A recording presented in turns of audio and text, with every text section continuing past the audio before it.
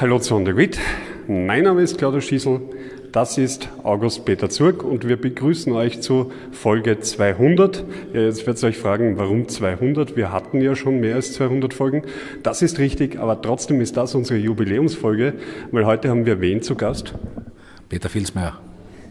Und was hat er hier gemacht im Presseclub? Der Mit einer knackigen, launigen, chirurgischen Präzision ist er alle Frontpeople aller quasi jetzt in der Wahl beteiligten und relevanten Parteien durchgegangen, hat die Parteien seziert, hat ihre Stories äh, und ihre medialen Auftritte und Planungen seziert. Es war wirklich ein Genuss. Es war das eine eine Mischung aus äh, lustig, aus Kabarett und teilweise, ähm, was soll man sagen, irritierend, wenn man auch von ihm erfahren hat, was alles immer auch an Trivialität dahinter steckt. Und was Peter Filzmeier auf die Frage gesagt hat, ob Maschek seine Skripten schreibt, das seht ihr jetzt. Ich sage danke für die Treue und ich glaube, der Presseclub ist ein würdiger und rechter Ort für die 200. Folge, oder? In diesem Sinne wünsche ich nicht nur dem Projekt äh, alles Gute, sondern auch äh, dem Capo äh, Claudia Schissel und ich bin mir sicher, er wird es schaffen, hier auch zur Folge 300 einen zügigen Weg zu finden. Dankeschön und danke für deine Unterstützung die letzten 200 Folgen. okay. So. Und auch Werner Kogler war unter den vielen Umweltpolitikern der Grünen in den letzten Jahren ja nicht derjenige, der zwangsläufig an erster Stelle stand. Wo er aber an erster Stelle stand, das war Stichwort bei Adria Bank beim Thema Kontrolle, wenn mit Geld und damit auch öffentlichem Geld unseriös umgegangen wird. Seit den Debatten um Spenden an einen Christoph Korhel in Wien nahestehenden Verein war es vielleicht ein Glück im Unglück, dass das Kontrollthema nicht das einzige Thema der Grünen war. Aber es war vor allem eben keine selbst und allein erzählte Umweltgeschichte, nur ein gutes Themensurfen. Die Neos hätten gute Geschichten vorbereitet gehabt, nämlich Wirtschaft und Bildung. Der klitzekleine Haken dabei, Sie wollten über Wirtschaft und Bildung sprechen, das hat man gemerkt, dass Beate Meindl-Reisinger fast schon mit umweltfeindlichen, quietschenden Reifen immer Kinder, Kinder, Kinder in die Diskussionen eingebracht hat. Nur alle anderen haben über etwas anderes geredet, nämlich beispielsweise über Umwelt, eben auch über Parteienfinanzierung, wenn auch weniger als 2017 über Zuwanderung. Und bei der Liste Bilds musste man sich zuerst einmal finden, dass man überhaupt eine Liste ist, weil nicht einmal die eigenen Leute haben ja die Unterstützungserklärungen abgegeben. Also da war das Geschichtenerzählen am Anfang inexistent. Dann natürlich der Versuch, das Image von Peter Pilz als Kontrolleur zu bedienen. Nur entgegen seiner Eigeninterpretation hatte er nicht die rauchende Pistole als wirklich von ihm selbst aufgedeckten Skandal in der Hand. Ja, es gab speziell im Partei, Parteienfinanzierungsbereich viele Aspekte, wo die größeren Parteien sehr angriffbar waren, aber es war nicht Peter Pilz der ursächliche Aufdecker. Die Erklärung liegt, glaube ich, wie eingangs gesagt, auf der Hand. Alle Parteien waren durch die Dramatik der Ereignisse ab Mitte Mai und dann auch noch im Juni überrumpelt. Herr Professor Filzmeier, aus Sicht der Meinungsforschung ist die Wahl am Sonntag geschlagen. Jetzt frage ich Sie als Politikwissenschaftler, als Kommunikationsexperten, ist das wirklich so? Ich kann mich nur auf die öffentlich zugänglichen Umfragedaten, im Wesentlichen in Zeitungen und in manchen Fernsehsendern beziehen, möchte da ausdrücklich betonen, dass in den letzten Jahren aus meiner Sicht als Politikwissenschaftler ein sehr, sehr positiver Qualitätssprung stattgefunden hat. Beispielsweise, dass es kaum noch Umfragen gibt mit weniger als 800 Befragten, sehr oft im vierstelligen Bereich, also weit über 1000 Befragte. Man verzichtet auf reine Online-Umfragen, was bei der Wahlforschung sehr unseriös war, weil die mit Abstand größte Wählergruppe bis zu ein Drittel über 60 Jahre oder in Pension ist.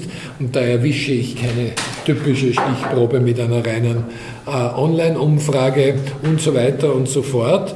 Nach diesen öffentlich zugänglichen Daten ist die ÖVP auf dem ersten Platz auch jenseits aller sogenannten Schwankungsbreiten, die in Wahrheit Konfidenzintervalle sind, wo wir Wissenschaftler uns immer wundern, wie der Ausdruck Schwankungsbreite zustande gekommen ist. Das ist eher etwas, was man mit Alkoholeinfluss oder dem samstäglichen Heimweg vom Wirten vielleicht in Verbindung bringt, die Schwankungsbreite, weil man den ganzen Gehsteig braucht.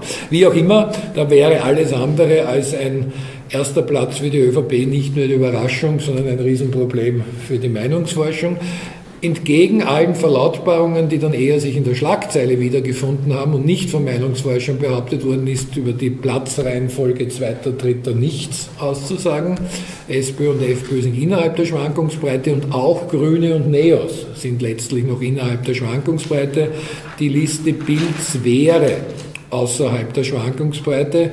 Gestatten Sie mir bei einem etwas längeren Pressetermin als die Soundbites im Fernsehen eine kleine Methodikvorlesung. Es ist oft Halbwissen, das kommuniziert wird. Zum Beispiel bei 800 Befragten, und das ist die jetzt übliche Mindestzahl, wird gesagt, die maximale Schwankungsbreite sei plus minus 4,5 Prozent. Nun gut, es ist rechnerisch 4,4 Prozent, aber der eine Zehntel Prozentpunkt Rundungsfehler sei geschenkt. Es geht um etwas anderes. Maximale Schwankungsbreite heißt, das ist die größtmögliche Schwankungsbreite bei einer Partei, die prognosemäßig bei exakt 50 Prozent liegt was keine tut. Je kleiner die Partei wird, desto kleiner wird auch die Schwankungsbreite. Und selbstverständlich war es nichts als im Parteiinteresse verständliche, aber kreative Mathematik der Liste Bilds ab dem Sommer zu argumentieren, wir liegen bei 1 bis 2 Prozent, aber es gibt plus minus 4,5 und mit 6,5 sind wir locker im Nationalrat. Die Schwankungsbreite ist in diesem Fall knapp unter einem Prozent. Allerdings, und das möchte ich schon einschränken, auch bei 800 Befragten wenn sich dann circa 70 Prozent als sichere Wähler deklarieren und davon eine Partei, selbst wenn sie 4 Prozent bekommt hat, habe ich eine Zahl von weit unter 20 Befragten. Da würde ich also mit Schlussfolgerungen bei Kleinstparteien schon trotzdem vorsichtig äh, sein. Aber das ist das Umfragebild, das sich ja im Wesentlichen seit Juni ein leichter Verlust der ÖVP, aber auf hohem Niveau nicht viel verändert hat die großen Wählerbewegungen, die es gegeben hat, umfragemäßig zu messen, waren im Mai und Juni. Das war einerseits ein Teil der FPÖ-Wähler, der vor allem zur ÖVP ging nach den Ibis-Ereignissen, vielleicht weniger als manche Hurra gleich geglaubt haben, aber dafür gab es keine methodische Grundlage. Und das Zweite war eine Wählerbewegung von der SPÖ zu den Grünen, was einerseits verwunderlich klingt, weil eine Regierungspartei, namentlich der Vizekanzler, liefert diesen Auftritt in Ibiza, den ich nur als moralisches Armutszeugnis bezeichnen kann für einen Politiker. Und die größte Oppositionspartei SPÖ gerät in die Krise. Das klingt nicht logisch. Was aber den Wählerabfluss zu den Grünen betrifft, ist das schon wiederum von der Logik her klar begründbar. Erstens durch das Umweltthema. Nur 2017 hat unabhängig davon die SPÖ im Verhältnis 80 zu 1 von den Grünen gewonnen. Also nach unseren Wählerstromanalysen für einen SPÖ-Wähler, der Richtung Grün wanderte, sind 80 Wähler in die Gegenrichtung hin zur SPÖ gegangen. Der Hauptgrund damals war wieder eine erzählte Geschichte, nämlich die erzählte Geschichte, es geht um ein Rennen um den ersten Platz, obwohl auch da Sebastian Kurz mit der ÖVP in Umfragen führte. Und die Botschaft der SPÖ durchaus relativ erfolgreich war, wenn jetzt eine Erstpräferenz die Grünen sind, die wären aber so können sich die Grünen täuschen, sowieso im Nationalrat, willst du nicht vielleicht das Rennen um den ersten Platz beeinflussen? Und auch wenn es die SPÖ nicht deine erste Liebe ist, ist der Kern nicht noch lieber als Kurz oder Strache, was bei einem Grünwähler oder Grünwählerin durchaus verfängt. Das war damals der Grund. Diese Geschichte ist trotz eines aus meiner Sicht unverständlichen Bemühens 2019 nicht wiederholbar, weil der Umfragevorsprung zu groß ist. Warum sich die SPÖ entschieden hat, trotzdem vom ersten Platz als Wahlziel zu sprechen und quasi ein Kanzlerduell auszurufen, kann ich mir nur mit parteiinternen Logiken erklären. Aus der Außensicht hätte ich der SPÖ dringend geraten, eine Underdog-Strategie zu fahren, um auch am Wahlabend ein relativ gutes Ergebnis noch präsentieren zu können. Also zu kommunizieren, wir brauchen jede Stimme von euch, sonst sind wir hinter der Ibiza FPÖ Dritter. Ich verstehe aber, dass das parteiintern gefährlich ist, weil stellen Sie sich vor, Sie halten das Erwartungsspiel niedrig in einer Firma und sagen, wir können auch in Konkurs gehen. Das kann die Mitarbeiter zu besonders harter Arbeit motivieren. Es kann aber auch dazu führen, dass sie Absetzbewegungen einleiten. Und die interne Logik muss man auch mal überlegen eben als Spitzenkandidatin in dem Fall. Trotzdem zu viel Wahlarithmetik, zu wenig Inhalte. Es ist eine Bringschuld der Parteien, die natürlich die enorme Geschwindigkeit des Medienwahlkampfs mit oberflächlichen Slogans bedienen. Man muss aber schon sagen, für einen inhaltsreichen Wahlkampf braucht es drei. Das erste, die Politiker und die Parteien, die ihre Bringschuld nicht immer erfüllt haben. Zweitens allerdings, so selbstkritisch muss man hier auch im steirischen Presseclub sein, auch Medien, die sich im Zweifelfall für die inhaltliche Geschichte und nicht für den Wahlkampf an sich, wer führt in Umfragen, wer plakatiert was entscheiden.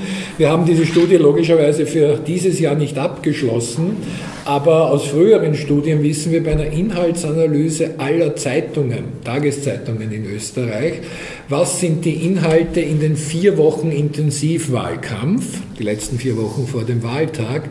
Da ist mehr als 50 Prozent nur der Wahlkampf an sich und jedes, bisher wirklich jedes Sachthema lag immer unter 10 Prozent. Und zwar nicht etwa als Überschrift, sondern als irgendwo im Artikel auch vorkommen. Ich kann das naturgemäß noch nicht berichten für den jetzigen Wahlkampf. Die Berichterstattung ist ja nicht vorbei. Aber äh, es wird wohl nicht viel besser sein. Das soll aber insofern jetzt wieder kein Medienbashing sein, sondern ich wage mich noch weiter vor. Publikumsbeschimpfung ist eine sehr heikle Sache, wenn man nicht zufällig Peter Handke heißt. Aber weder die Politiker würden nur oberflächliche Slogans manchmal produzieren, noch die Medien diese vielleicht aufgreifen, wenn nicht das Publikum genau darauf auch anspringt. Wenn das Wähler- und Zuseher- und Leservertreibung wäre, würden ja Politik und Medien damit aufhören. Also auch die Hohlschuld des Wählers, hey, wir wollen das jetzt genauer hören von euch. Das sind gut klingende Überschriften. Keiner von euch ist gegen die Umwelt, ähm, für eine illegale Parteifinanzierung, äh, gegen den Wirtschaftsaufschwung, für weniger Arbeitsplätze und gegen leistbares Wohnen. Aber wir wollen ein bisschen die Tauglichkeit eurer Konzepte mehr im Detail argumentiert haben. Das müssen schon auch die Wählerschaft mehr einfordern. Sie haben schon etliche Nationalratswahlkämpfe analysiert, kommentiert, beobachtet. Danke für den zarten Hinweis auf mein Alter. Wie würden Sie denn den jetzt zu Ende gehenden klassifizieren? Stichwort äh, zu Beginn des Wahlkampfes ist äh, sozusagen pompös angekündigt worden, wir würden die Aufdeckung etlicher Skandale miterleben. Das spektakulärste Ereignis war dann äh, der mutmaßliche Hackerangriff auf die ÖVP-Zentrale. Aber ansonsten, äh, die riesigen Sensationen oder Skandale sind ja eigentlich ausgeblieben. Trotzdem war dieser Wahlkampf gekennzeichnet, unabhängig vom Zahlenergebnis in Parteien, dass ein Resultat feststeht, das ist eine Verstärkung des Negativ-Images der Politik und das Dilemma aus politikwissenschaftlicher Sicht, aber auch jener der politischen Bildung ist, das ist nicht die von uns vor mittlerweile vielen Jahren diagnostizierte Politiker- und Parteienverdrossenheit. Es ist auf jeden Fall eine Politikverdrossenheit und leider teilweise auch eine Demokratieverdrossenheit. Das hat begonnen mit dem Wahlkampf Auslöser, wo ja niemand geringer als der Bundespräsident gesagt hat, das wäre ein erschütterndes Sittengemälde der Politik. Der Bundespräsident hat auch gesagt, so sind wir nicht. Was er nicht dazu gesagt hat, aber ich ergänze, wir werden aber verdammt lange daran arbeiten müssen, um zu erklären der Wahlbevölkerung, dass wir nicht so sind. Und das liegt daran, dass manches im Wahlkampf kein Megaskandal war, sondern eher ein Ausreizen beispielsweise der noch legalen Grauzonen im Bereich Parteienfinanzierung beispielsweise einige Skandelchen. Aber Fast alle Parteien haben sich für die Strategie entschieden, wenn man selbst Erklärungsbedarf hatte von einem vielleicht zumindest ethisch nicht ganz korrekten Verhalten, äh, dadurch abzulenken, dass man gesagt hat, die anderen machen das ja mindestens genauso und wären in Wahrheit noch viel schlimmer. Äh, so zerstört man natürlich das Image, in der Wirtschaft würde man sagen, einer Branche. Oder bei der Parteipolitik das Image der Politik und leider auch der Demokratie. Das hat man speziell immer dann, wenn es ums Geld ging, in Fernsehdiskussionen gemerkt, wo in Pavlovschen Reflexen geradezu kam, wenn man da nicht sehr transparent Spenden gestückelt hat, wo mir keine natürliche Absicht einfällt, die anders ist. Wir wollen nicht, dass es alle gleich mitbekommen, wer immer die Idee hatte. Dann hätte der andere ja Großspenden gehabt, die auch irgendwie moralisch verurteilt wurden. Und der dritte eine Finanzierung über außenstehende Vereine zumindest nicht ausgeschlossen. Wenn ich dieses Ringelrein nicht nur zu dritt, sondern auch zu vier, zu fünf mehrere Monate lang spiele, dann ist die Mehrheitsmeinung bestätigt der Wählerschaft. Die überwältigende Mehrheit meint, äh, ja, die sind alle beim Geld so, dass sie sich richten, wie sie es brauchen. Und dieses Urteil ist sehr, sehr negativ, unabhängig davon, ob anerkannt wird, das ist innerhalb noch des gesetzlichen Rahmens. Sorry, es handelt sich um Gesetze, die von den politischen Parteien beschlossen wurden. Und wenn beim jetzigen Parteifinanzierungsgesetz nicht alle dabei waren, haben die auch keine Ausrede, weil sie beim vorigen, wo vieles übernommen wurde, wie beispielsweise die Sanktionslosigkeit bei Finanzverstößen, äh, sehr wohl dabei waren. Dann versuche Ihnen gleich einmal die erste Prognose zu entlocken. Äh, aus dem, was Sie jetzt gesagt haben, heraus vorgehend, äh, glauben Sie, dass sich das auch im, auf die Wahlbeteiligung auswirken wird oder wird das nicht spürbar sein? Ob das der Grund ist, kann ich mangels Wahlforschungsdaten vom Wahltag noch nicht sagen. Wir rechnen eher mit einem Rückgang der Wahlbeteiligung, was man aber, sollte das Stimmen dazu ergänzen muss, ähm, von einem extrem hohen Niveau. Die Wahlbeteiligung zuletzt war knapp über 80 Prozent. Damit sind wir in Europa schon im Spitzenfeld. Und das muss man noch weiter betonen, dass die Länder, die vor uns sind, zwei Länder mit Wahlpflicht sind, die auch sanktioniert wird. Also in Belgien und Luxemburg Luxemburg gibt es jeweils Wahlpflicht. Dort ist die Wahlbeteiligung auch über 90 Prozent, weil sie sonst eine Strafe erhalten, nicht Gefängnis, aber doch eine Geldstrafe, wenn sie sich nicht an der Wahl beteiligen. Unter jenen Ländern, die keine sanktionierte Wahlpflicht, also nicht als totes Recht haben, sind wir sogar europaweit führend. Ich würde Sie jetzt schon warnen, wenn der Rückgang dazu führt, dass ein Siebener vorne steht, das über zu dramatisieren. Ich vermute aber, das kann ich nur spekulieren, dass Parteien ähnliche Daten haben, weil in den letzten Tagen sich schon die Botschaften sehr wieder an die Stammwähler richten und das ist bei möglicherweise etwas sinkender Wahlbeteiligung naheliegend, weil dann kann ich dort mehr gewinnen und weniger an die Wechselwähler, weil wer gewechselt ist, hat diese Entscheidung schon bei den dramatischen Ereignissen im Mai und Juni getroffen. Aktuelle Zahlen sagen, dass knapp über 70 Prozent sich jetzt als sichere Wähler deklarieren. Dann gibt es noch einen Prozentanteil von wahrscheinlich und vielleicht, wobei die Erfahrungswerte hier sagen, wer sagt vielleicht, den können Sie eher vergessen, dass er noch zur Wahl geht, weil Wählen gilt als sozial erwünschtes Verhalten. Also bevor man sich dann in einer Interviewsituation deklariert, ich bin nicht Wähler und stolz drauf, sagt man, ja, vielleicht gehe ich noch hin. Von dem Wahrscheinlichen können aber natürlich sich manche noch entscheiden, genauso wie einige vermeintlich sichere Wähler dann doch zu Hause bleiben. Aber das ist das momentane Datenbild, muss mich jetzt aber selbst schützen. Es ist ein gängiger Witz, der aber bitter wahr ist. Die Wahlbeteiligung ist manchmal noch schwieriger zu prognostizieren als die äh, Ergebnisprognose es ist. Übrigens, Sie erfahren heute nicht auf die zweite Kommastelle genau, genau wie es ausgeht. Ich muss Sie enttäuschen. Äh, und warten wir mal ab, was in der letzten Woche noch passiert. Also weniger am Samstag, Sonntag des Wahlwochenendes, aber bis Elefantenrunde im ORF am Donnerstag und der Folgetag mit der Social Media Diskussion darüber kann sich natürlich noch einiges bewegen. Von den großen Themen, die derzeit auf der Agenda stehen, wurden so die Wahrnehmung vieler, abgesehen vom Klimaschutz, kaum etwas aufgegriffen. Zum Beispiel die sich eintrübende Konjunktursituation war, wenn überhaupt, so am Rande ein Thema. Worauf deutet das hin? Zunächst zum Datenbefund. Wir stellen nicht die Frage in unserer Wahlforschung, und das machen auch viele internationale Institute nicht, welches Thema halten Sie für wichtig. Das Problem ist, dass Sie unter Umständen für jedes Thema da Werte von 90 Prozent und mehr bekommen. Denn wenn wir es alphabetisch machen, wer sagt schon A wie Arbeitsplätze oder gute Arbeitsplätze seien unwichtig, wer sagt schon B wie Bildung für die eigenen Kinder sei egal. Jetzt muss ich ein paar Buchstaben überspringen, weil das mit C ist schwierig, ein Politikfeld zu finden, aber G wie Gesundheitspolitik sagt auch niemand, ich mache mir keine Sorgen, wie ist meine Betreuung, wenn ich krank bin. Und das können Sie jetzt mit Z bis Z wie Zuwanderung durchmachen. Deshalb ist unsere Fragestellung und so, so macht es auch der Eurobarometer, was haben Sie in den letzten Tagen oder Wochen am häufigsten diskutiert, privat, im familiären Freundesumfeld, aber auch beruflich mit Kollegen, beziehungsweise der Eurobarometer auch, was sind die großen Herausforderungen, manchmal nur mit Einfachnennungen und da ist seit früher, nicht nur bei uns, in der Tat das Umweltthema auf Platz 1. Fürs Wirtschaftsthema habe ich eine Erklärungshypothese. Noch ist es auf dem Abstraktionsniveau gesamtvolkswirtschaftlicher Rechnungen und Prognosen. Das heißt, es hat noch nicht die Ebene erreicht, was heißt das in meinem Alltag, was könnte ich mir dann weniger leisten.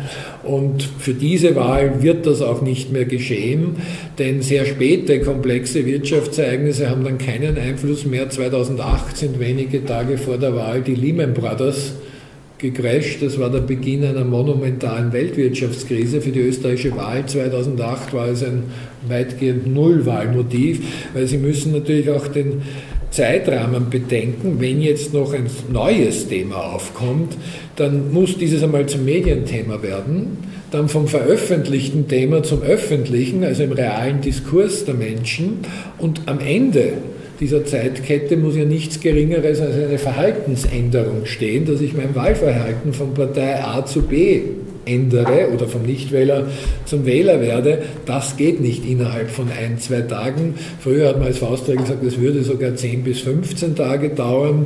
Im Social-Media-Zeitalter ist natürlich auch das beschleunigt, aber nicht zufällig habe ich gesagt, alles bis Donnerstag noch. Ähm, das wird dann schon knapp. Aber in den letzten drei Tagen gibt es letzte entschlossene Wähler, die auch bis zu 10 Prozent sein können.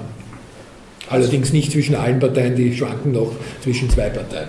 Was spielt für gerade diese Wählergruppe äh, eine besondere Rolle in diesen letzten Tagen? Nicht die Sachthemen, hier geht es natürlich um die Gefühlsebene, wobei sehr oft Negativgefühle, also Sorge und Angst vor dann allerdings auch wirtschaftlichen Entwicklungen hier noch Verhaltensänderungen äh, auslesen können weniger das Glücksgefühl der heiß entdeckten Liebe zum ebenso heißen Spitzenkandidaten oder Spitzenkandidatin erst in den letzten Tagen, weil die jeweiligen Personen sind nun doch schon ein paar Wochen plakatiert und im Fernsehen omnipräsent.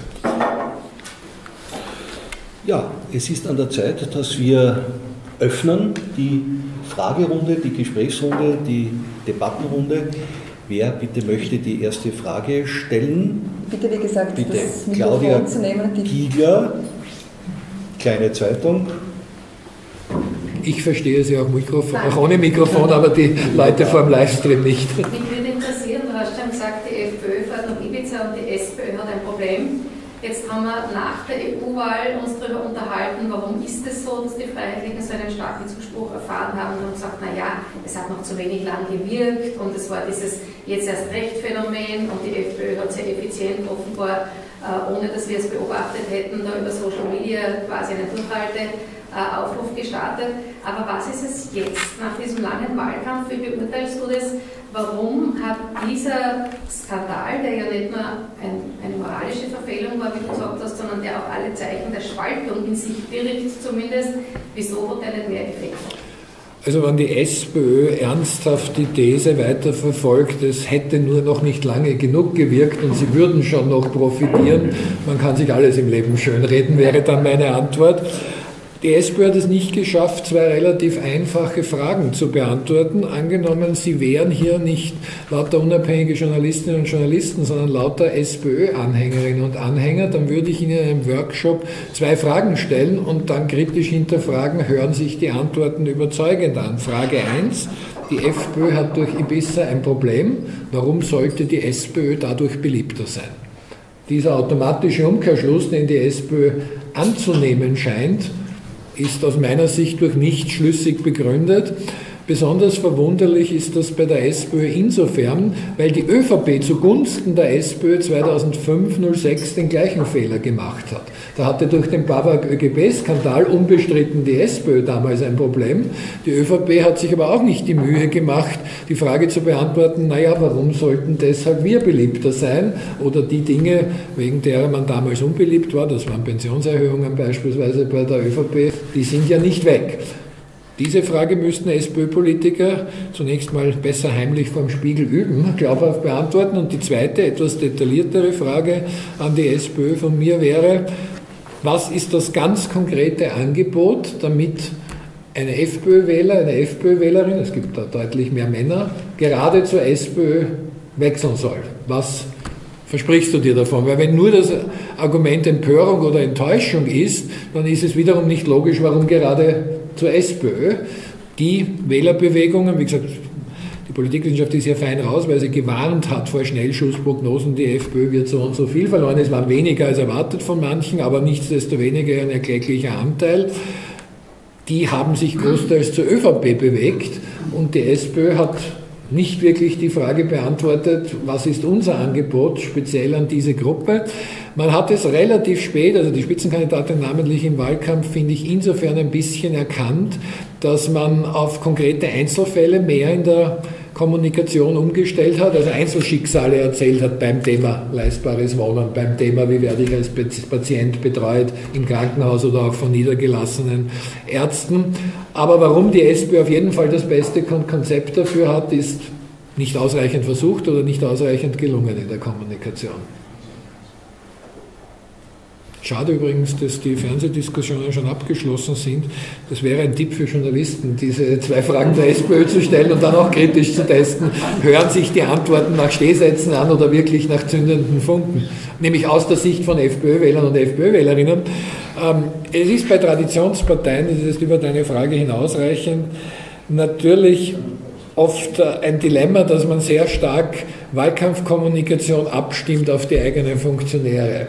Zum Beispiel, wenn die SPÖ heftigst die ÖVP kritisiert, dann kommt das bei vor allem älteren Funktionären der SPÖ gut an, denn die sind über Jahrzehnte, allerdings im vorderen, vorigen Jahrhundert sozialisiert worden, was immer du als Roter tust, zunächst mal musst du sprachlich den Schwarzen hauen. Äh, mittlerweile im 21. Jahrhundert und zwar im Ganzen sind die Wählerströme zwischen ÖVP und SPÖ auf Bundesebene, in einzelnen Bundesländern mag es anders sein, sehr gering. Aber seit Bruno Kreiskis Zeiten hat in Summe die SPÖ über eine Million Wähler an die FPÖ verloren. Das ist ein bisschen ungerecht als Zählung, weil Wähler natürlich mehrmals hin und her wandern können. Dann würden sie in den Wählerstromanalysen, wenn ich das einfach addiere, auch doppelt gezählt. Aber verdammt viel bleiben es trotzdem. Und die Signale, die ich, die ich sehe von der SPÖ, gehen nicht in Richtung, hey, FPÖ-Wähler, kommt zu mir, obwohl es da das größte Potenzial geben würde, zumindest rein rechnerisch. Haben Grüne und Neos diese Aufgabe besser bewältigt?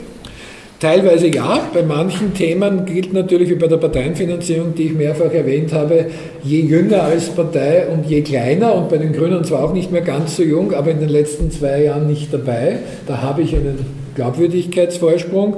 Die größeren Parteien haben versucht, dann immer bei NEOS den Großspender Haselsteiner äh, zu thematisieren, wo man aber dazu sagen muss, das war nicht nur transparent, sondern mehr mit offenem Visier äh, geht nicht. Und das war auch keine Grauzone, sondern tatsächlich der Gesetzeslage äh, entsprechend. Ja, das ist auch eine Frage, die sich die SPÖ stellen muss, wenn wir ohnehin schon an die Grünen wahrscheinlich zurück verlieren und es nur noch um Schadensbegrenzung geht.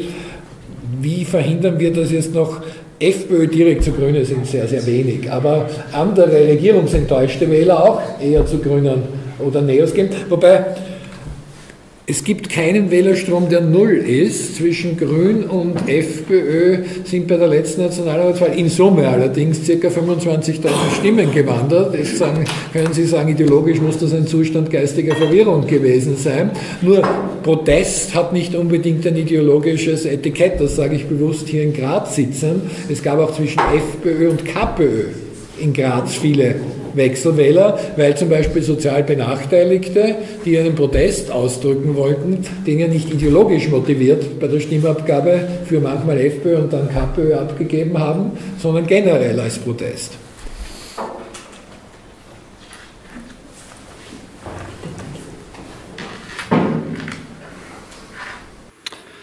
Claudius Schießel, Insel Politics. Ähm, die erste Frage wäre, ändert sich etwas in der Wahrnehmung beim Zuschauer, wenn eben der ORF auf diese 15-Minuten-Duelle umschaltet, während ja andere äh, Programme ja nach wie vor eine halbe Stunde oder dreiviertel Stunde Duelldiskussionen anbieten?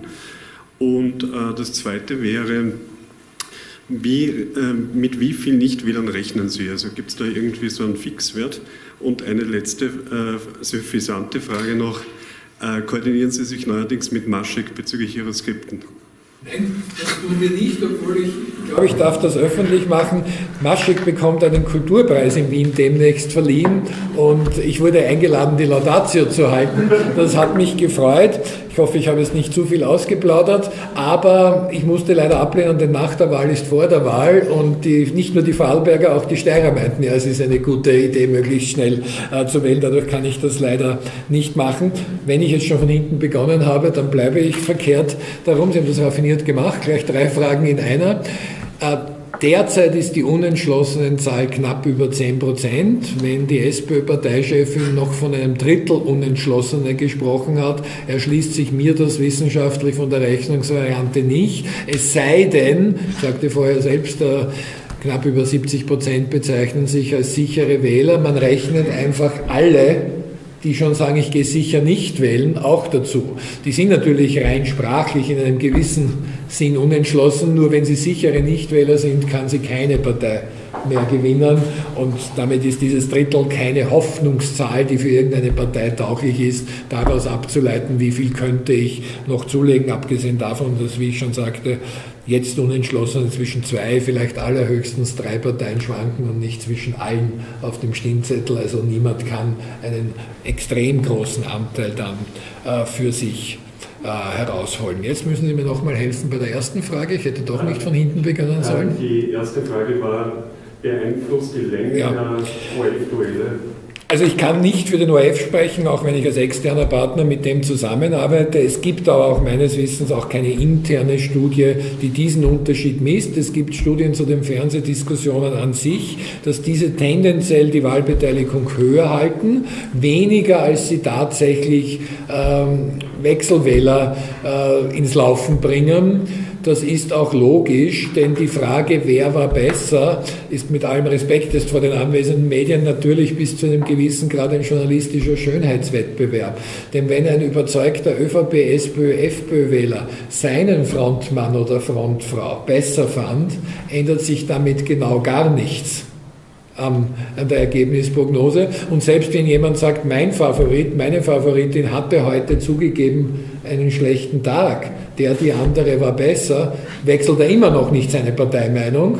Und die Frage, die man eigentlich stellen müsste, egal wie lang noch die Fernsehdiskussionen sind, war nicht nur, wen fanden Sie besser, sondern fanden Sie X oder Y besser? Werden Sie deshalb seine oder Ihre Partei wählen, obwohl Sie ansonsten sicher eine andere Partei gewählt hätten oder sicher nicht Wähler gewesen wären?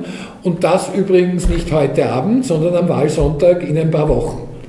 Da merken Sie schon, die Fragestellung ist sprachlich kompliziert und das ist auch sehr kompliziert, da große Wählerbewegungen auszulösen. Es geht dann wirklich noch um die Unentschlossenen, auch die, die mit dem Nichtwählerlager noch liebäugeln. Zur Länge sehe ich, also ausdrücklich meine persönliche Meinung, einen ganz praktischen Grund. Dadurch, dass es inzwischen sehr, sehr viele Anbieter von Fernsehdiskussionen gibt, ist die frühere, ich habe da schon für den ORF ähm, analysiert Variante jeden Dienstag und Donnerstag je eine knapp einstündige, 50-minütige Diskussion, schlicht und einfach programmplanungstechnisch kaum noch zu machen und äh, auch den Kandidaten und Kandidatinnen körperlich nicht zumutbar. Ähm, deshalb bei der EU-Wahl erstmals probiert, dort auch aufgrund eines vor Ibiza vermuteten geringeren Interesses, bei EU-Wahlen ist dieses üblicherweise geringer, dieses Speed-Dating in Form von 15 Minuten. Ich kann nur die Quoten zitieren, die da wie auch bei anderen Sendern ausgezeichnet sind. Also Wählerinnen und Wähler sind nicht übersättigt, sondern suchen sich eben einzelne Diskussionen aus. Ich glaube auch, dass es zu billig wäre, die These zu vertiefen. Äh, Wenn es doppelt so lang ist, ist es automatisch doppelt so sehr Inhalt so inhaltsreich waren auch nicht alle längeren Spitzenkandidatinnen Kandidatendiskussionen. Ein, auch als persönliche Anmerkung, muss mich entschuldigen, dass ich das in einem Nicht-Wien-Bundesland sage, aber ich schon als Problem sehe, die meisten oder fast alle dieser Studios, äh, mit Ausnahme jetzt Online-TV von Bundesländerzeitungen natürlich, sind in Wien. Das heißt, das betont die Wasserkopflastigkeit des Wahlkampfs noch mehr, weil ein Kandidat, der jetzt erzählen würde, ich bin ja laufend draußen bei den Menschen am Land, da müsste man schon überlegen, ob man das noch als Unwahrheit bezeichnen kann oder nicht schon als bewusst was Falsches sagen, weil das, wann soll sich das noch, noch ausgehen? Ähm, ich halte es aber für demokratiepolitisch gut, die vielen Diskussionen. Danke an Bruno Kreisky und andere aus der damaligen Zeit, die einfach damit begonnen haben, weil das Positive ist, es ist über Ihre Frage hinausgehend, aber ich möchte es betonen, dass auch wir haben jetzt keinen Amtsinhaber mehr in diesem etwas paradoxen Wahlkampf, aber auch ein Ex-Bundeskanzler oder Chef der größten Partei mit dem von der kleinsten diskutiert Sebastian Kurz nicht so gern mit Peter Pilz, aber auch mit Vertretern von Kleinparteien äh, sich stellen muss für Diskussionen und das halte ich für eine Demokratie auch, auch gut und richtig so.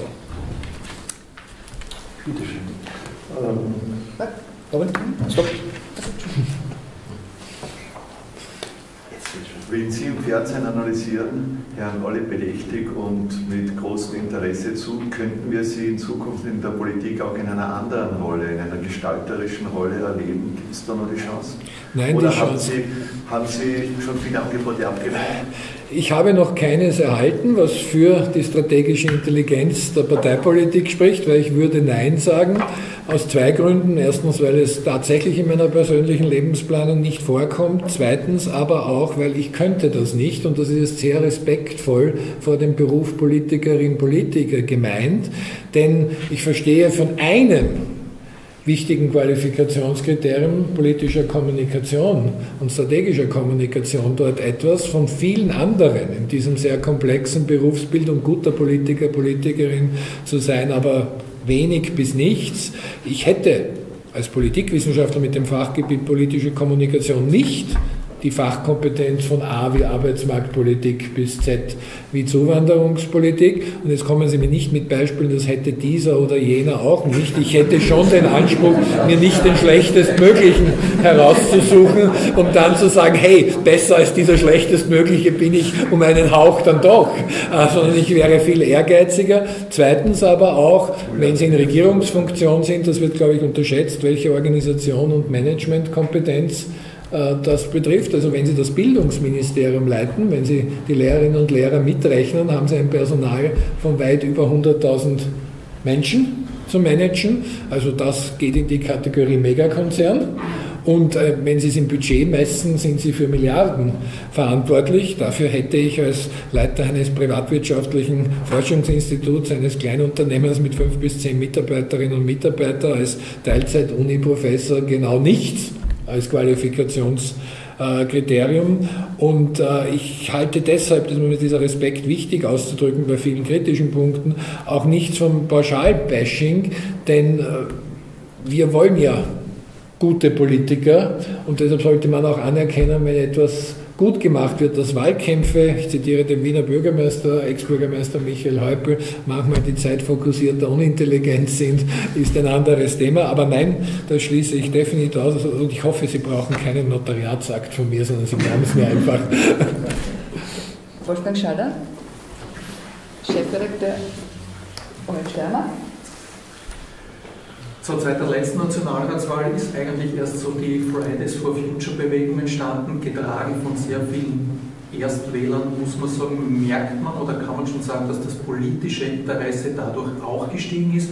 Oder ist es rein das Interesse der jungen Leute am Thema Klimaschutz?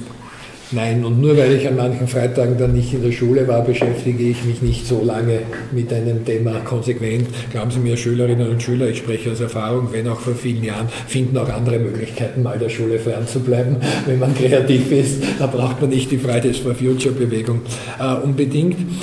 Ja, es ist das ein Ausdruck politischen Interesses. Man muss nur, das gilt aber für alle Altersgruppen, ein bisschen aufpassen, wenn man absolute Zahlen positiv hervorstreicht. Das sind natürlich zu einem Gutteil solche, die sich für ein anderes politisches Thema auch interessiert hätten. Diejenigen, die sowieso schon interessiert sind. Übrigens eine Parallele äh, paradox, wenn ich das gerade dem ORF-Chefredakteur sage, aber es ist auch ein Signal, wir sind uns als ORF, ich darf hier wir sagen, dessen bewusst.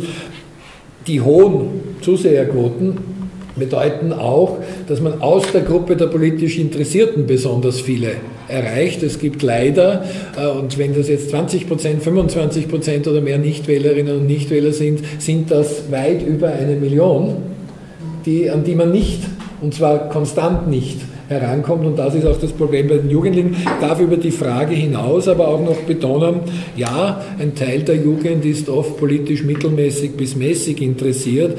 Es kommt aber nicht nur in der vergleichenden Politikwissenschaft, sondern ich glaube auch journalistisch auf Vergleichsgrößen an.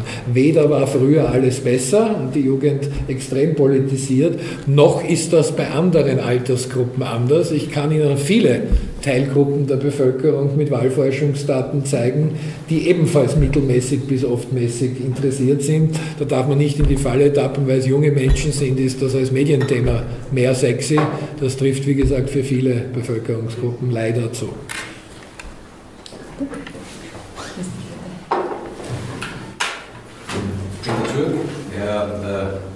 Herr äh, mir kommt vor, dass die Mechanismen, die Nutzungsmechanismen, das, das Social Media und der sogenannten konventionellen Medien im Rahmen dieses Nationalratswahlkampfes äh, doch spürbar anders aufgestellt sind. Das heißt, die Parteien, glaube ich, setzen sich anders ein, setzen andere äh, Mechanismen und äh, Formate ein. Wie sehen Sie das? Auch im Vergleich. Und die zweite Frage, wenn es schon passt, äh, weil nach Karl Valentin, Sie wissen ja mit den Prognosen und der Schwierigkeit, wir haben ja in der Steiermark auch im Bälde Nationalratswahlen. Land. Sie haben auch in der Steiermark Nationalratswahlen, aber.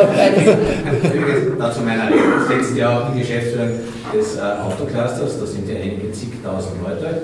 Und äh, das hat ja alles realpolitische Auswirkungen. Wie sehen Sie den, den Bezug zwischen dieser Nationalratswahl und der wahrscheinlich nicht ganz zufällig im Bälde stattfindenden Landtagswahl. Also zur letzten Frage, ob es das Motiv war, Weiß ich nicht, weil da bedürfte es Methoden, um in das Hinterköpfchen von führenden Landespolitikern hineinzukommen, was ihr Motiv war für die vorgezogenen Nationalratswahlen. Und ich bin nicht Gehirnchirurg, sondern Politikwissenschaftler. Und für Einzeltiefen-Interviews psychologisch stehen sie uns leider nicht zur Verfügung, um zu sagen, was das strategische geheime Absicht war. Aber was objektiv die Faktenlage ist, eine sonst so oder so, und man wusste nicht wie in der Landespolitik, die Landtagswahl entscheidend beeinflussende Rahmenbedingungen erspart man sich höchstwahrscheinlich. Das ist, welche bundespolitische Konstellation haben wir? Denn ich erachte es für eher unwahrscheinlich, ich weiß es natürlich nicht, aber es würde knapp werden, dass wir schon eine Bundesregierung haben vor der steirischen Landtagswahl. Also den möglichen Erklärungsbedarf, welche Regierung immer herauskommt, ich muss es als Landespolitiker meinen Anhängern erklären, den habe ich nicht und das ist deshalb ein wichtiger Aspekt, der vielleicht die Verlockung groß gemacht hat, wenn auch die Motive je nach Partei unterschiedlich waren, äh, früher zu wählen, weil wenn man abfragt, welche Koalitionsvarianten wünschst du dir wirklich, ist eine heikle Fragestellung, weil manche Leute wünschen sich Varianten, die sich nie im Leben methodisch ausgehen. Also es macht nicht viel Sinn, mit Zahlen, die sich eine Neos-Grün-Koalition wünschen, zu hantieren, weil das wird, so weit wage ich mich vor, nicht ganz sich ausgeben. Aber fast jede Variante hat nicht mehr als ein Drittel Zustimmung. Und da oft noch mehr kann ich damit leben. Erst dann werden die Zahlen deutlich größer.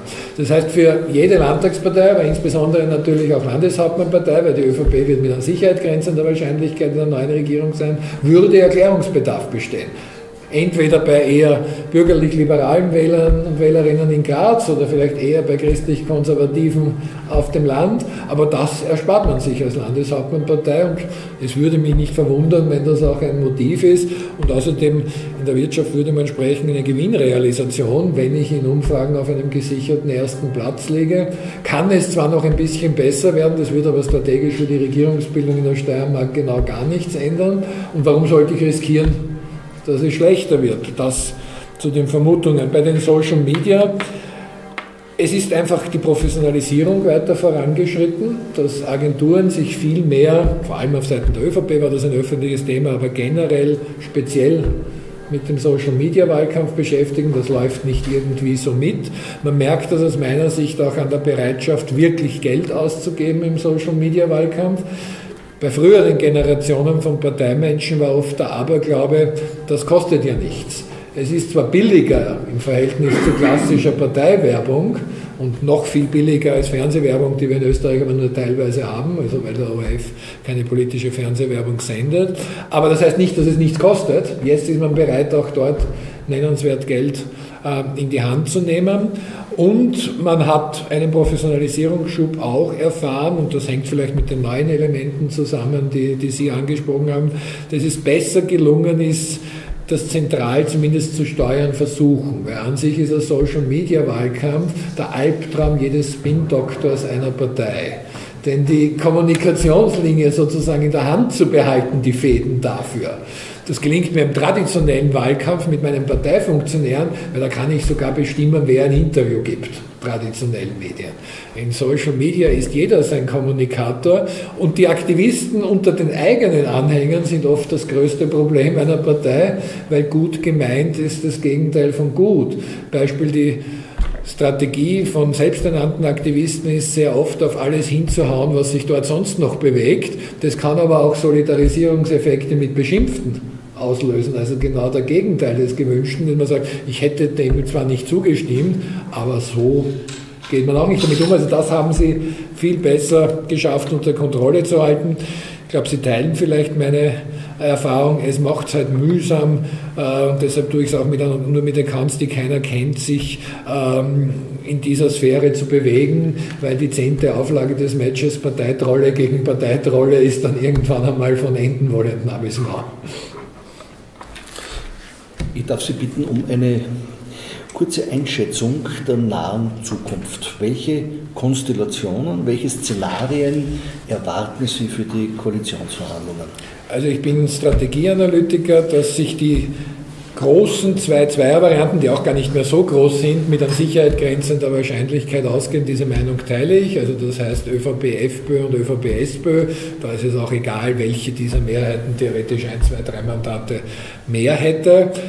Wenn es nach inhaltlicher Übereinstimmung gibt, dann kommt ÖVP, FPÖ, denn wenn man zum Beispiel bei Internet-Tools mit Themenfragen, aber auch einfach die Wahlprogramme ansieht, dann ist die Übereinstimmung rein inhaltlich 80 Prozent plus zwischen ÖVP und FPÖ im Themenbereich. Nur im Vergleich, das sind vier Fünftel, zwischen ÖVP und Grünen ist es circa ein Fünftel. Rein inhaltlich, nicht aus ideologischer Perspektive, nicht Sympathie oder andere emotionale Elemente berücksichtigend, nicht allenfällige strategische äh, Überlegungen, nicht den Einfluss von Landes- oder Teilorganisationen bedenken. Da ist nur noch die offenbleibende Gretchenfrage, hält Sebastian Kurz die FPÖ für regierungsfähig und will sich neuerlich mit ihr paaren, rein koalitionspolitisch gesehen. Bei ÖVP und SPÖ ist diese Übereinstimmung unter 50 Prozent und zwischen den jetzigen Personen muss man kein Psychologe sein, es genügt der Hobbypsychologenstatus, dass die wechselweise Ablehnung äh, sehr stark ist. Was, glaube ich, zu wenig noch betont wurde, ist, dass Sebastian Kurz als 33-Jähriger politisch zwangsläufig in einer Zeit sozialisiert wurde, als SPÖ und ÖVP, damals noch in dieser Reihenfolge, nie mehr ein gemeinsames Großprojekt hatten. Das letzte war der EU-Beitritt den hat er als heute 33-Jähriger zwar schon erlebt, im biologischen Sinne, aber nicht als aktiver Politiker erlebt. Das war vor 23 Jahren. Also als Zehnjähriger hat er wahrscheinlich noch nicht so parteipolitisch damit gedacht. Und auch glaube, dass schon auch daraus dieses, ich habe immer nur erfahren, das ist eine Politik des kleinsten gemeinsamen Nenners, auch mit wechselweisen Intrigen und Blockadeaktionen, ähm, Sebastian Kurz geprägt hat. Bei den kleinen Zweierkoalitionen, aber auch bei der Dreiervariante ÖVP, Grüne und NEOS, laute ich jetzt eben was auf, was mir extra noch für die Schlussanalyse im ORF aufgehoben hätte nach der Elefantenrunde, was ich kaum noch wo gelesen habe, interessanterweise. Man muss bedenken, all diese Varianten hätten keine Mehrheit im Bundesrat. Das ist beim Budgetgesetz und beim Bundesrechnungsabschluss egal, weil da liegt die Gesetzeshoheit ausschließlich beim Nationalrat. Und bei allen anderen Fällen hat man zwar die Möglichkeit von Beharrungsbeschlüssen, also wenn der Bundesrat dagegen ist, geht das Ganze nochmal an den Nationalrat zurück und der kann mit einfacher Mehrheit sagen, wir wollen das Gesetz trotzdem. Nur rein zeitlich ist das bei fünf Jahre lang regieren wollen schon eine Schwierigkeit. Äh, man muss mit sehr großer Vorlaufzeit Gesetze planen. Wir hatten so eine Situation im Jahr 2006, also aufgrund der ÖVP-Wahlniederlagen in den Ländern, ja auch hier in der Steiermark, die ÖVP, zuerst FPÖ und dann BZÖ, Mehrheit im Bundesrat verloren gegangen ist. Die mussten für alles, was sie vor dem Wahltermin auch im Herbst erst da durchbringen wollten, das bis Ende März oder spätestens April eingebracht haben, weil dieses Ping-Pong-Spiel mit natürlich auch Verzögerungsmöglichkeiten im Bundesrat so lange dauert. Das ist ein Dilemma. Die Zweiervarianten kann ich als sehr unwahrscheinlich bezeichnen. Ich sehe nicht, dass sich ÖVP und NEOS ausgeht, weil wenn die NEOS noch stark zulegen, müssen diese Stimmen ja irgendwo herkommen. NEOS gewinnen relativ wenig von FPÖ und SPÖ, können von den Grünen noch was holen. Das wäre wahrscheinlich die einzige Möglichkeit, dass die Grünen noch implodieren aus irgendeinem Grund, können ein bisschen was von der Liste Bild zahlen, aber so viele Stimmen sind das nicht. Ähm, und sonst wären Stimmen von der ÖVP, aber dann wird die Koalitionsmehrheit gemeinsam nicht wahrscheinlicher.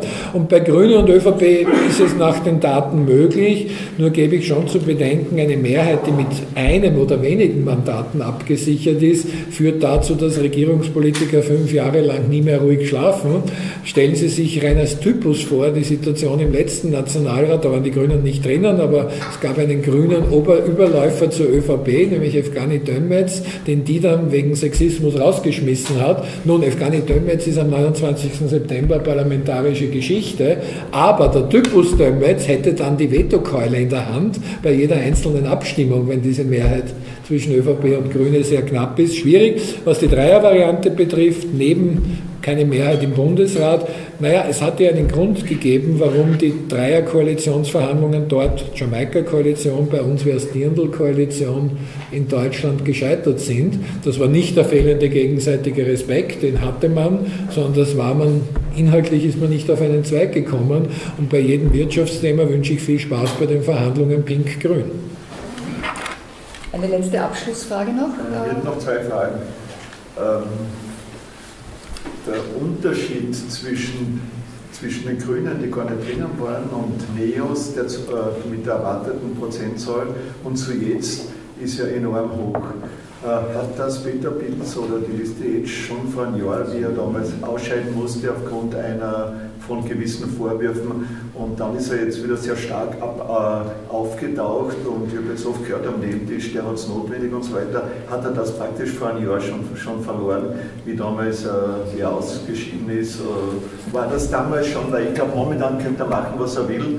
Äh, der, der, hat keine Chance mehr, äh, da gibt es kein Vertrauen mehr. Und die zweite wäre Hofer Bundespräsident geworden. Ja, wäre das letzte Jahr nicht unspannend gewesen, oder? Das stimmt. Was wäre, wenn, fragen würden Wissenschaftler nur bedingt, aber das hätte allerdings die Konfliktträchtigkeit der Situation, egal, sofern muss man sagen, wie Norbert Hofer agiert hätte, nochmal potenziert. Und wahrscheinlich aus einer schwierigen Situation, wo aber Zitat Alexander von der Bellen, unsere wunderschöne Verfassung gute Lösungsmöglichkeiten geboten hat, schon noch mehr die krisenhaften Elemente gestärkt. Der umfragemäßige Einbruch von Peter Pilz war in der Tat sehr knapp nach der letzten Nationalratswahl, also auch personenbezogene Sexismusvorwürfe gegen ihn als Grund, allerdings auch aufgrund des seltsamen Jeder gegen jeden Streits in seiner Partei. Wenn man eine Klein- oder Kleinstpartei ist, ist es schon im Namen begründet, sollte man sich noch nicht mehrfach spalten oder abspalten. Und mir ist auch kein Fall bekannt, wo die eigenen Mandatare nicht bereit waren, äh, eine Kandidatur mit einer Unterstützungserklärung zu versehen. Dass man auf Stefanie Dometz zurückgreifen hat müssen, kann ich zwar nachvollziehen, ist aber schon ein Paradoxon. Äh, Peter Pilz muss sich also auch hinterfragen, äh, nicht nur wegen der personenbezogenen Vorwürfe, sondern hat auch mit seiner Person zu tun, warum habe ich mich mit jedem Weggefährten irgendwann zerstritten und in den letzten Jahren mit besonders vielen. Und er hat auch ein bisschen nur als One-Trick-Pony dieses Kontrolleurs-Image, weil er bringt sich zum Beispiel geschickt in die Medien, aber bürgernah, er ist kompetent. Wenn ich über drei Jahrzehnte im Nationalrat war, kann ich zu jedem Thema faktenbasiert etwas sagen, klar. Aber schafft er es zu vermitteln, ich verstehe deine Alltagssorgen an deinem Arbeitsplatz, wie es den Kindern in der Schule geht, wie du dich im Krankenhaus oder beim Arzt fühlst, das ist einfach nicht seine Stärke. Ähm, und wie ich schon sagte, den großen von ihm aufgedeckten Kontrolleursfall nicht oder zu vielen auch etwas thematisiert hat, äh, den hat es bisher nicht gegeben, denn der noch offene Fall wird sich vor dem Wahltag wohl kaum noch klären. Das ist der Hackangriff auf die ÖVP, wobei mich ja mehr interessiert, neben dem strafrechtlichen Delikt, Delikt wenn es ein Hackerangriff war, dafür drohen bis zu 300.000 Euro Geldstrafe und, oder sogar eine Haftstrafe, und die soll es dann geben, sondern sind die Dokumente echt oder nicht? Nur das wird sich bis zum Wahltag wahrscheinlich äh, sich die Journalistinnen und Journalisten leider nicht mehr klären. Wenn es keine drängende Frage mehr gibt. Eine drängende Frage hätte ich schon noch. Moment, Moment. Mit dem Mikrofon, sonst versteht sie online niemand. Und ich beantworte dann irgendwas. Ja, ich verstehe sie schon, aber für sich der Zuseher ist es dann so, auf was antwortet der eigentlich? Meiner Meinung nach ähm, die, Einbringung des Misstrauensantrages für, für, für eine Auswirkung. Auf Sicht der Wählerbewegungen nicht extrem, weil die Bewegung von der FPÖ hin zur ÖVP schon nach Ibiza war und sich ja auch bei der EU-Wahl schon gezeigt hat, weil man darf ja das FPÖ-Ergebnis nicht nur mit dem letzten Wahlergebnis, sondern mit den Umfragemöglichkeiten vor Ibiza vergleichen. Die SPÖ hat ihr Image einer, nennen wir es mal vornehm, ungeschickten Dauerkommunikation natürlich äh, verstärkt und es den Grünen leichter zu machen, im EU-Wahlhoch zu bleiben, nach einem exzellenten Wahlergebnis bei der EU-Wahl.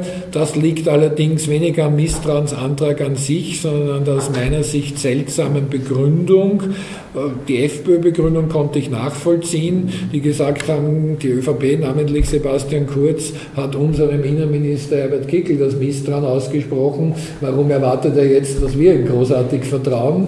Das kann man gut oder schlecht finden, je nach politischer Meinung und Parteipräferenz, aber das war eine naheliegende Begründung, warum die SPÖ noch dazu am Abend einer historischen Wahlniederlage das so gemacht hat und mit einem bizarren Bild äh, zu nächtlicher Stunde und nicht einfach vorher schon gesagt hat, es geht um politisches Vertrauen oder Misstrauen, nicht ob jemand etwas angestellt oder gar verbrochen hat und jemand, der den Zwölf-Stunden-Tag eingeführt hat, um ein typisches äh, SPÖ-Thema herauszugreifen, den vertrauen wir als Sozialdemokratische Partei nicht. Äh, und das hätte man argumentieren können. Zielgruppe wären ja mögliche SPÖ-Wähler gewesen. Das verstehe ich in der Tat nicht und das hat die Krise der SPÖ aus meiner Sicht verfestigt und es Sebastian Kurz auch leichter gemacht, sich nicht inhaltlich erklären zu müssen, sondern diese Opferrollenstrategie zu, zu betonen.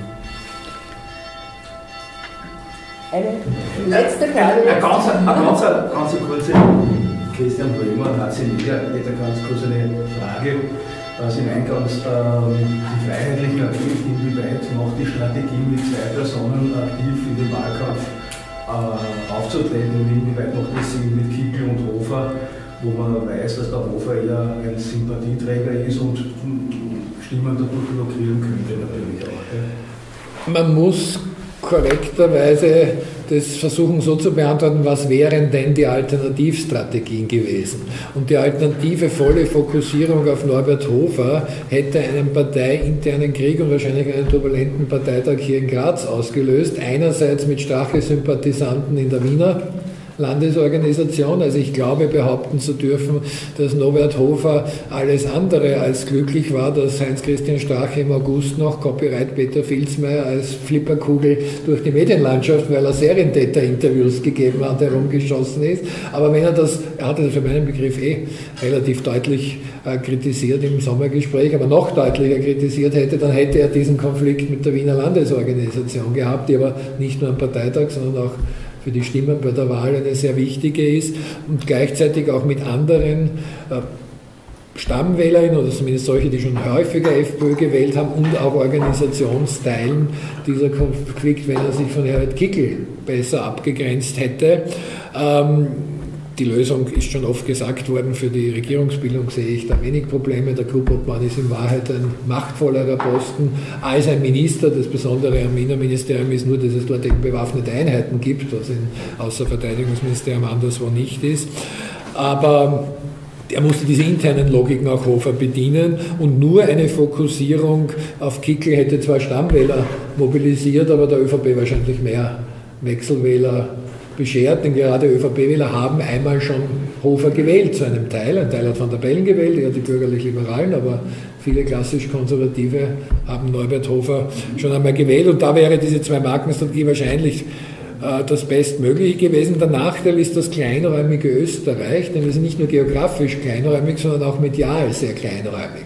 In den USA mit äh, allein äh, 100 Fernsehmärkten und überall dort unzähligen Spartenkanälen kann ich die Zwei-Marken-Strategie fahren, ohne dass es auffällt.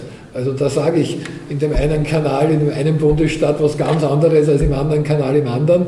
Das wird mir vorgehalten, hat natürlich zu schon seltsamen Szenen geführt, dass am selben Tag Herbert Kickl den Bundespräsidenten Alexander von der Bellen nahezu beschimpft hat und Norbert Hofer ihn am selben Tag in der Zeit im Bild 2 ausdrücklich äh, herzlichst gelobt hat. Das äh, sind sozusagen die Kollateralschäden gewesen dabei. Aber nochmals, unter den vorhandenen Möglichkeiten sehe ich nicht, was die FPÖ viel anderes hätte machen können. Ja, danke für Ihr Interesse am heutigen Abend. Danke, Professor Filzmeier, dass Sie sich die Zeit genommen haben für diese Analysestunde. Äh, wenn wir sehen, was die letzte Woche vor dieser Nationalratswahl noch bringen wird, Sie haben gesagt, Sie werden uns das Ergebnis auf äh, Komma nicht voraussagen. Vielleicht in einem Halbsatz eine kleine Prognose. Wie weit wagen Sie sich hinaus? Ja, nachdem ich in der Steiermark bin und die da sehr stark sind, ich muss die steirische KPÖ enttäuschen, die KPÖ wird nicht mehr Erster werden. Vielen herzlichen Dank schönen Abend.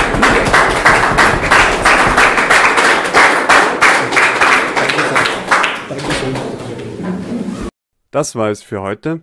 Herzlichen Dank fürs Zusehen und wenn euch das Video gefallen hat, bitte teilt es, hinterlasst einen Like oder abonniert unseren Kanal. Danke.